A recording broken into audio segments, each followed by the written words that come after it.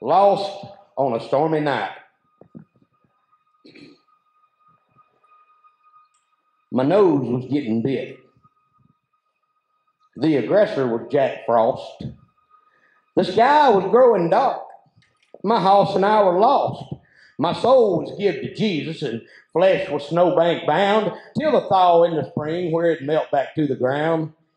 And just when my fight was finished, at last I had conceded, a light laid out before me and give me what I needed. Shelter from the freezing rain and a mean, mean nor'easter with dry wood for a fire to warm my frozen keister. Well, this hole carved in the mountainside just fit my house and me, with the entrance barely shaded by an old scrub cedar tree.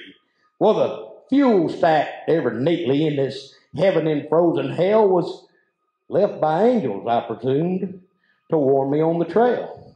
Well, I had unpacked my bedroll and my, my house was saddle free with heated oats for him and a cup of joe for me. The fire had been steady burning, five hours or maybe six. Then I, I observed my predicament. I was just down to two sticks. Well, I gazed around this haven that seemed a lucky draw, and something caught my eye. A crack had split the wall. Always one to wonder why fate just seemed to be a fickle finger crooked and pointing straight at me. Inspection of the crack revealed the secret way. Then I stumbled on a treasure loaded in a bright red sleigh. There was a strange hat of hanging, seemed like on just thin air, and then I tried it on to warm my ears, and I see the coat a glowing there. I was startled for a minute with the glow, and it drew me nigh, and this coat was warm and fuzzy, and I heard a feeble sigh. Hey, cowboy, spoke a voice once strong but on the fade. The trail that you've been riding brought you here today. That hat and coat you're sporting it keeps warm the world, you see, and it's your turn to wear it.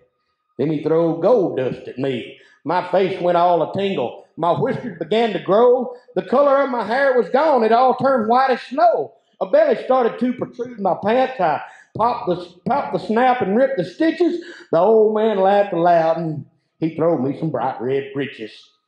Well, these new duds that I was wearing, they had a feel of peace and joy. And I saw that the treasure was a great big sack of toys.